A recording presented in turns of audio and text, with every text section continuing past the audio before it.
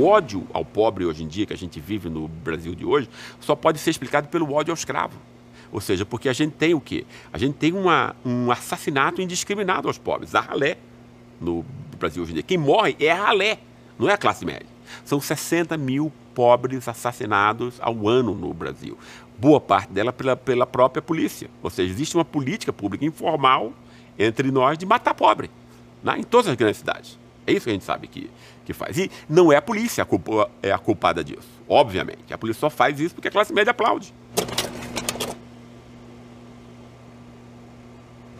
A gênese dela tem a ver com estudos teóricos que eu havia feito e que eu tinha percebido que a interpretação do Brasil né, tinha é, engendrado a noção de uma singularidade baseada especificamente na forma do Estado, ou seja, a questão do patrimonialismo. Né? Porque quando você escolhe uma ideia para ela ser a mais importante, significa que você deixa as outras na sombra. Né? E o que tinha se deixado é, na sombra, no fundo, é, um, é a desigualdade patologicamente abissal que nós temos aqui. Né? É isso que é mais importante. Quer dizer, não tem nada que singularize mais o Brasil do que isso. A Alemanha fez um enorme esforço econômico e político para incluir 17 milhões de alemães orientais. Né? O que a gente faz aqui é deixar 70 milhões de pessoas né, no lixo, basicamente. Né? É isso que precisa ser pensado no Brasil. Né? Como resgatar essa classe, como incluir essa classe. Por que você jogar no lixo 70 milhões? as pessoas tendem a, a, a imaginar que a competição social começa na escola. Isso não é verdade. A competição começa na barriga da mãe e até antes disso, né? E tal. E também na vida fam fam familiar, a criança com de 1 a 5 anos é que ela vai é, ela vai introjetar o pai ou a mãe, etc. E ela vai reproduzir a visão de mundo do pai ou da mãe. Isso vai ser extremamente importante. Ela vai aprender a disciplina, ela vai aprender a capacidade de se concentrar. Nada disso é nat natural. Né? Isso é um privilégio de classe.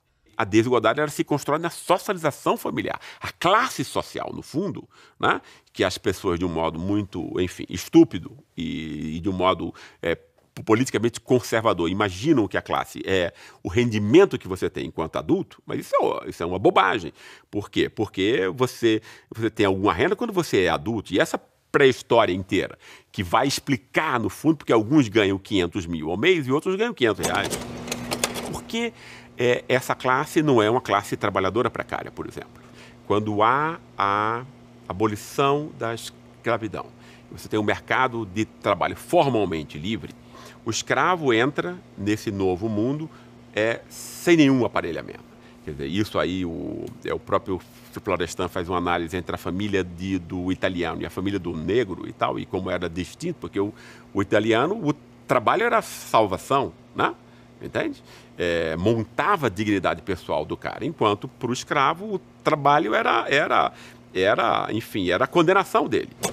Esse pessoal vem da escravidão é, digamos assim, é, deixado ao seu próprio azar, né? e não a sorte, aí não tem nenhuma sorte nisso, né? e eles vão montar uns tipos familiares e de acesso ao trabalho como era no, na escravidão. Né? São pessoas criadas sem autoestima, sem autoconfiança. Né? Quer dizer, você está produzindo aí pessoas que é uma espécie de um lixo social no caso, né? Quer dizer, falando a verdade aqui, sem ter medo de falar a verdade, né? Por que isso? Porque numa sociedade moderna só é gente, né? é percebido como gente, tanto pela própria pessoa como pela sociedade como um todo, quando você consegue incorporar conhecimento. É claro que o conhecimento, por exemplo, da classe média é o conhecimento é, valorizado, legitimado, né, de curso de pós-graduação, né, de cursos de línguas, etc, etc. E é isso que vai fazer juízes, professores universitários, procuradores, né, e tal, né? O esquema da classe média como uma classe privilegiada. Mas logo abaixo dela, a classe trabalhadora, em uma medida importante, né, tem acesso a conhecimento, senão ela não, não vai movimentar as máquinas, é, por, por exemplo, de uma fábrica. Ela não vai poder, né, é, é, é enfim, é, trabalhar em nenhuma das formas é, que um mercado econômico competitivo exige. Né? Então ela tem que ter o quê? Conhecimento dentro dela. Né? A ralé diferentemente da classe trabalhadora, ela não tem os estímulos nem para é, ter sucesso escolar. Né? Então a gente pode dizer que é uma classe que chega com cinco anos né? É, é, na escola como perdedora já. E quando ela não consegue é, aprender na escola, né? ela vai, como analfabeta funcional, vai ter poucas condições de entrar no mercado competitivo, né? mercado econômico competitivo. Então ela vai, ela vai vender o quê no mercado de trabalho? Se não é o conhecimento que ela não foi capaz de incorporar, não por culpa dela, mas porque ela foi abandonada, né? uma classe abandonada, humilhada, não é isso? Então ela vai ter que vender a sua energia muscular, como um animal, como um escravo faz. Essa classe vai ser exatamente a classe, por exemplo, das empregadas domésticas, que é o emprego feminino mais representativo no Brasil, não é isso? Então isso significa que 80, 90% das mulheres dessa classe são todas elas faxineiras, babás, empregadas do, domésticas, etc. Não é isso? É trabalhando sobre as piores condições pessoais. Ela reproduz o quê? O escravo doméstico. O que, é que a classe média faz?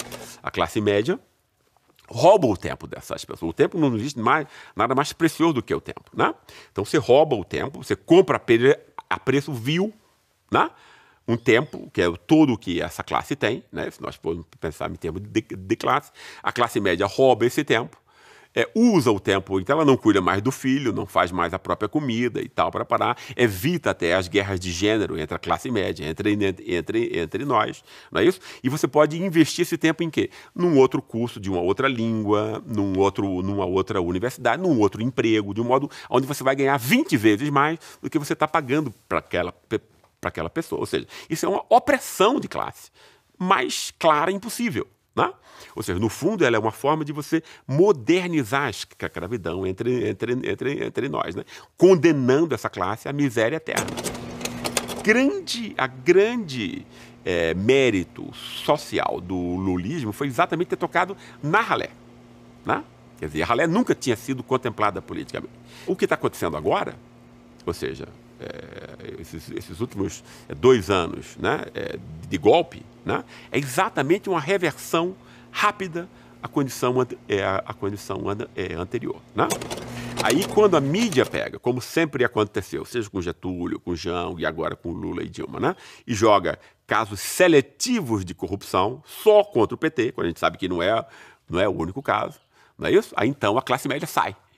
Mas ela sai em quê? ela sai contra a política do, do PT de reduzir minimamente as nossas diferenças de, de classe ou sai contra a corrupção? Não é isso? Então, é, se não era a corrupção que estava por trás do ódio ao PT, é o que estava por, quer dizer, o que era efetivamente a causa do ódio ao PT, não é isso? Se a gente for ver isso, é fácil a gente, a gente ver que o ódio ao PT é o ódio a ralé. E o ódio que se devota a ralé hoje em dia, ele é tributário e filho do mesmo ódio que se devotava ao escravo antes. Né? O imaginário simbólico para lidar com ela é tributário né, é, dessa relação que se tinha antes com os escravos. Né? Ou seja, o escravismo no Brasil é um, é um contínuo.